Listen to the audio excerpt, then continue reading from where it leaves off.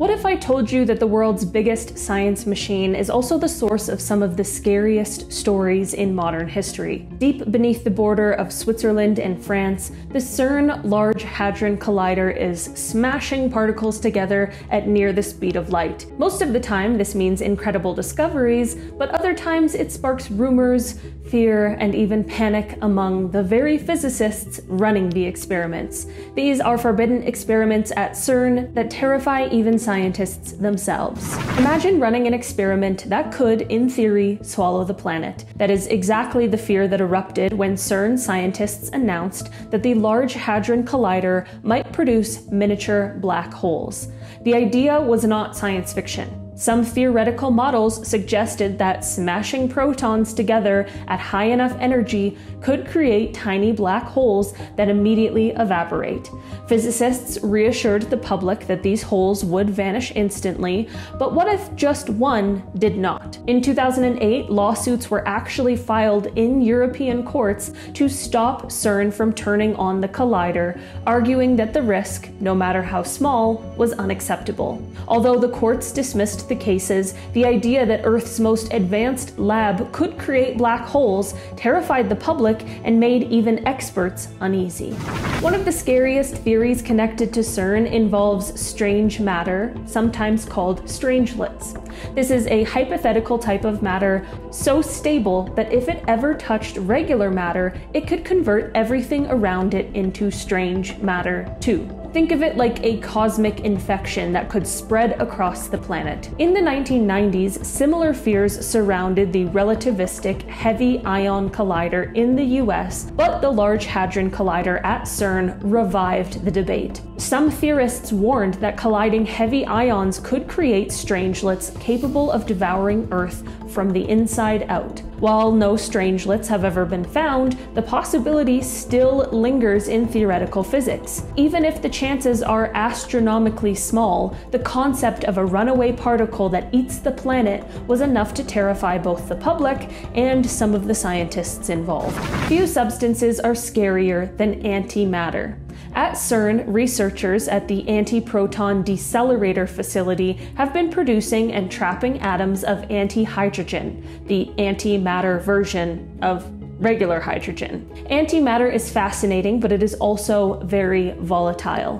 When matter and antimatter meet, they annihilate in a burst of pure energy. Just one gram of antimatter could produce an explosion equivalent to a nuclear bomb. The amounts at CERN are microscopic, far too small to cause harm, but still the fact that scientists are deliberately making and storing one of the most dangerous substances in the universe raises some eyebrows. In 2012, CERN trapped anti hydrogen atoms for 1,000 seconds, a record at the time, pushing closer to being able to study it in detail. But even the tiniest containment failure could spell disaster.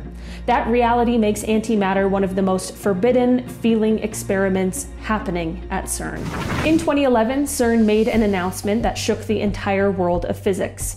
Neutrinos, ghostly particles that pass through matter almost undetected, appear to be traveling faster than light. If true, this would have broken Einstein's theory of relativity and forced a rewrite of modern physics. For months, scientists double checked their data, terrified of what this meant. If particles could outrun light, causality itself, the principle that cause comes before effect, would break down.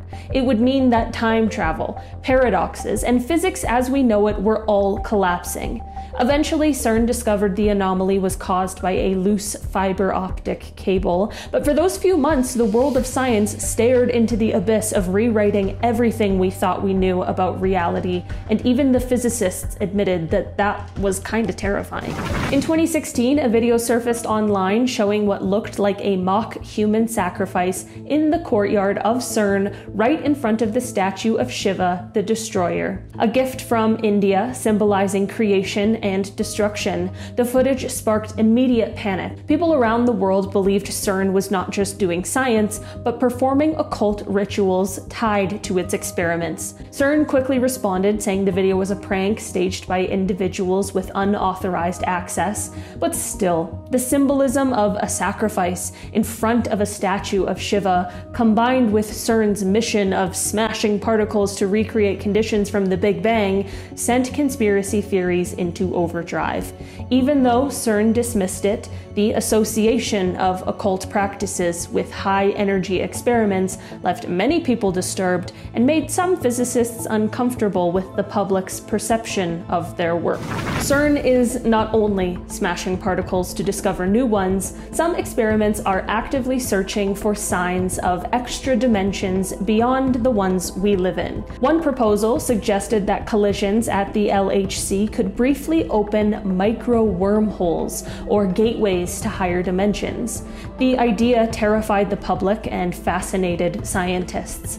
If true, it could explain mysteries like dark matter, but critics worried about what could come through those openings or what might leak out. In 2008, CERN even published a safety report directly addressing public fears about extra dimensions, black holes, and vacuum decay. While the official word was that the LHC was safe, the very need for such a report shows how uneasy people, including some experts, felt about the implications of these experiments. Speaking of vacuum decay, perhaps the most terrifying possibility ever connected to CERN is that exact idea. In physics, our universe exists in what is called a false vacuum, a very delicate state that could, in theory, collapse to a more stable one. If that collapse started, it would spread at the speed of light, destroying everything in its path. Some theorists worried that high energy collisions at CERN could trigger this process. Although later studies concluded it was nearly impossible, the fact remains that LHC reaches energy levels never before achieved by humans. When you are running experiments that could theoretically erase the universe, even the smallest chance is enough to terrify scientists. When CERN announced the hunt for the Higgs boson, nicknamed the God particle, the media frenzy made it sound apocalyptic. Headlines claimed CERN might destroy the universe by creating something unnatural. Some even linked the Higgs boson to doomsday prophecies. In July 2012, CERN confirmed the discovery of the Higgs boson, and the world did not end. But behind the celebration was real unease. Peter Higgs himself had warned that high energy physics could unleash unexpected consequences. The Higgs field gives mass to particles, so tampering with it sounds like tampering with the very foundation of existence. Even though the discovery was safe, the panic it triggered shows how quickly CERN's experiments can cross from groundbreaking to absolutely terrifying. CERN is not just dangerous because of what it discovers, but also because of the scale of its operation. The Large Hadron Collider consumes around 1.3 terawatt hours of electricity per year, about the same as a small city. In 2015, CERN had to shut down experiments because Switzerland simply did not have enough power during the winter. The sheer energy being fed into the collider raised fears of unintended side effects. Could the massive electromagnetic fields generated by the collider interact with Earth's natural systems? Some conspiracy theorists even claimed that strange weather and earthquakes were linked to CERN powering up. While scientists dismissed these claims, the fact that one machine can drink as much electricity as a city makes it feel like an experiment far too powerful for humans to control. One of the strangest incidents linked to CERN happened in 2009 when the collider suddenly failed. Engineers discovered the cause a piece of bread had fallen into outdoor machinery, possibly dropped by a bird. The malfunction was serious enough to shut down operations temporarily, but what made the story eerie was the timing. Some theorists speculated that it was not just an accident, but a kind of sabotage from the future. They argued that nature, or even time itself, was trying to prevent CERN from making dangerous discoveries like the Higgs boson. While most physicists laughed it off, others admitted the coincidence was kind of unsettling. The idea that the universe might be actively fighting against CERN's experiments sounds absurd, but it is exactly the kind of story that keeps the public and even some experts uneasy about what goes on underground. All right, guys, that has been our list for today. Thanks so much for checking it out. I've been your host today, Olivia Kosolofski, and I will see you again soon. Goodbye.